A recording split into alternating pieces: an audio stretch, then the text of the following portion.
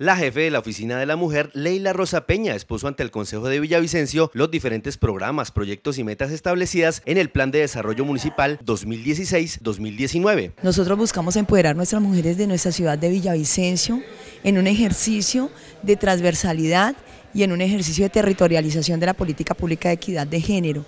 Eh, hemos propuesto al Consejo Municipal eh, siete líneas de la política pública eh, donde vamos a buscar mejorar la calidad de vida de las mujeres. La funcionaria recalcó a la corporación la importancia de la implementación de la economía del cuidado, que consiste en reconocer esas tareas que son desarrolladas por las mujeres diariamente en el ámbito del hogar. Los concejales estaban, además que conocen las necesidades tan grandes que tienen las mujeres y además somos el 52% del total de la población. El Cabildo Municipal mostró todo su respaldo a las iniciativas planteadas y solicitaron un ajuste presupuestal.